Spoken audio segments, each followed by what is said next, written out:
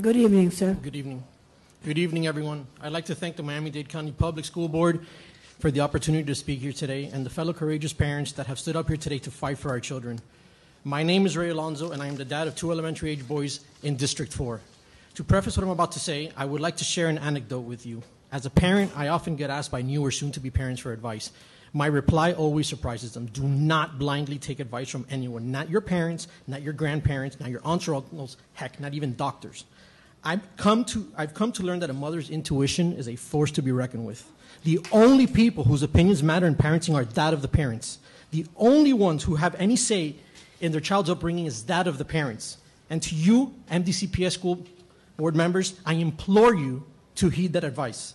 As recently, you have taken it upon yourselves to determine what is best for my children, our children.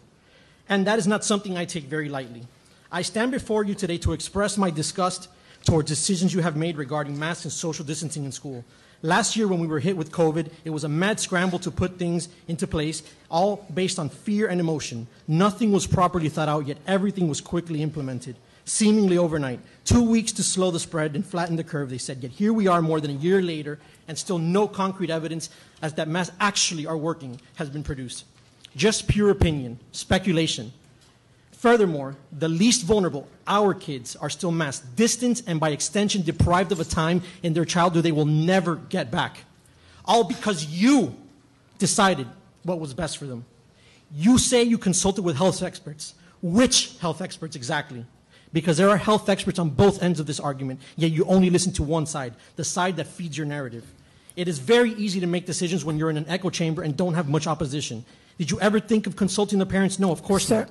your time is up. I'll let you wrap it up. I have not had three minutes. Sir, your time is up. It's three minutes. That, that I'm only telling you what the light is. There's no light in there. But instead of instead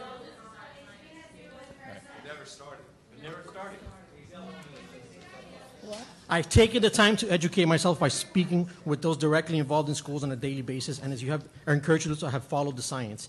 That science has led me to learn of the multiple things children are experiencing, which have all been discussed here, and I'm not going to re- reiterate them.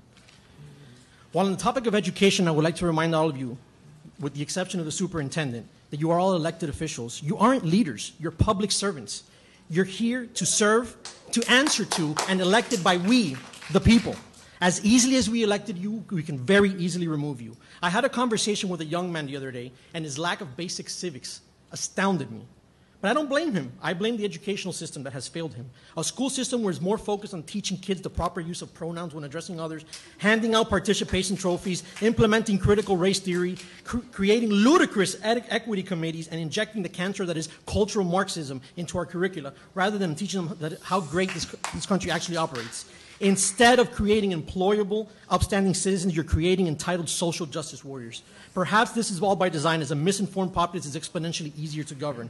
I'm not entirely confident that all of you understand how exactly a constitutional republic works, and it should be unfair to expect that young men to do so. At some point, you stopped having respect for parents and that we and what we believe is our best for our own children. We elected you to have oversight of their education and nothing more. With your track record of poor decisions, I'll be damned if I allow you to have any more say in anything beyond my, ch- my children's education. Fellow parents, we must ask ourselves if we really Madam have- Chair, Madam it's- Chair. your time is up.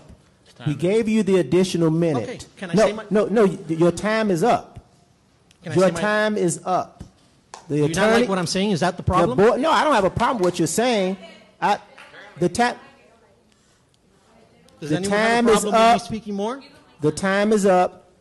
The attorney opined, and I'm going to say this on behalf of my chair because I started the public hearing. There was a decorum statement that was made. The language was out of line with the decorum statement that was made. I did not interrupt you until you went uh, uh, outside of that line. Okay. So your time was up, number one, and the statement that was ra- raised by the attorney about how we proceed in a public setting is not about the issue, it's about the manner in which you're going to deliver it. So that language will not be suffered by this board. So your time was up, and your language was out of line. Okay. thank you, sir. I'm sorry I hurt your frail egos.